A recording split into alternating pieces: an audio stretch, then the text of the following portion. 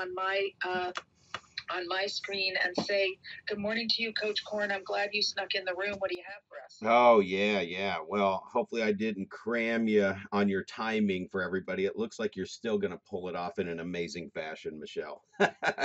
But, you know, I sit here today in total amazement and think, how does Dawn Hobbs get in my phone and send me messages through Facebook and all kinds of stuff that tie up with the message that uh, uh, you all came up with for today. so this is a sad one. Uh, today you're talking about reinventing yourself, and I I just got the announcement pop up on my phone today that Bruce Willis uh, was just announced with aphasia, if I said that correctly. If anybody else knows what that is, it I guess it's a disease or a, a situation that takes you away from remembering how to speak and talk and and do all kinds of stuff. And uh, he's having to step away from acting because he won't be able to do it. Bruce Willis is the goat of acting. I mean, talk about reinventing yourself to be in a situation like that where you're even forced to. So, the one thing I would say on today, and we have so many speakers on stage that are just, I mean, just totally bring it, bring their A game. They've got everybody's got challenges. Every single person's got something that's happened and they've reinvented themselves or maybe not reinvent they were they were born with it or whatever and they've taken advantage of it and turned it into something amazing because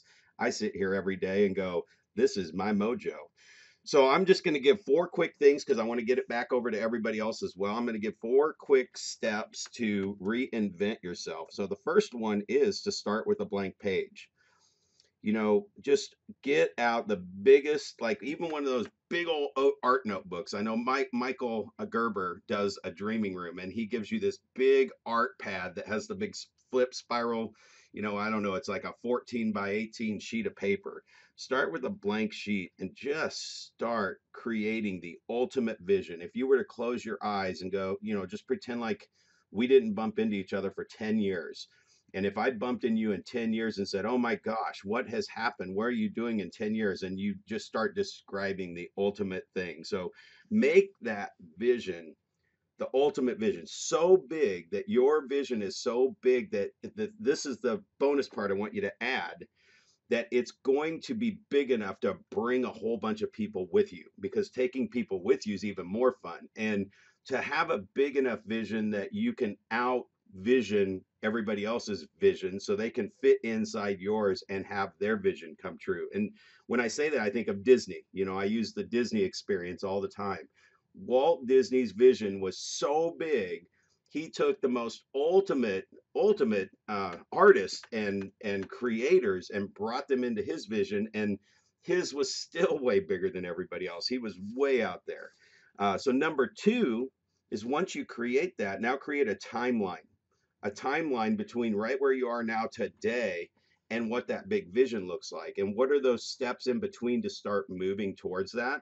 So really just draw the timeline first and here's where today is and here's the vision and then you'll start figuring out what that next step is like dr ruth was talking about. So then three to find out more of those steps or once you get a couple of those steps down find others that are doing that step find others that are doing that step really really well and go shadow them get to meet them introduce yourself to them. And i literally just had a conversation with an agent a real estate agent that sells 130 homes a year.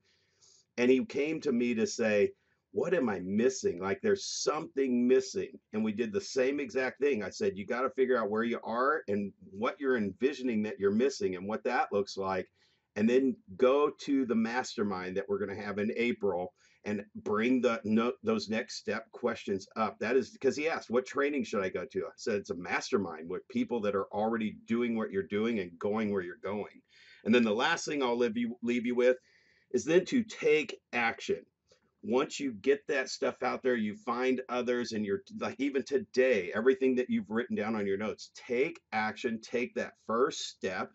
Again, Dr. Ruth said, and everybody has said, take a step towards that. You won't even realize how you got there, and you won't even realize it'll feel like you know you got there in a day and it might be 10 years it might be 20 years who knows but get take that next step and then take step 2 and then take step 3 and as Michael Gerber is yelling in my head right now don't try to go to step 4 don't figure out what step 5 is and figure out what that's got to look like just take step 1 and then take step 2 that's my share for today Michelle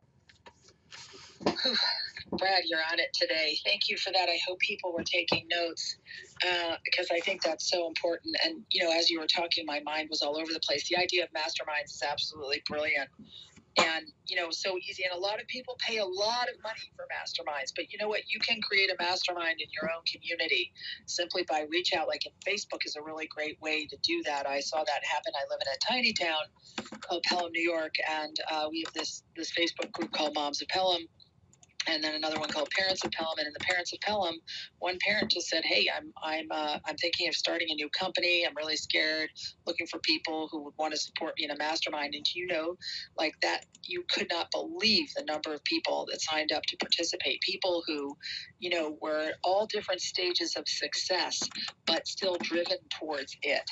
And so, uh, and that ended up being something that was free. And you cannot believe the buzz, like how uh, the things that have happened out of it. I'm thinking someone's going to write a New York Times article about it. So uh, don't o- only believe that you've got to pay a bajillion dollars to become part of a mastermind. Some of them are relatively inexpensive, and some of them, if you're committed, are nothing at all. Uh, it's just your time. And so, with that, I'd like to pass the mod mic back down again and see if Daniel is available. And he's not.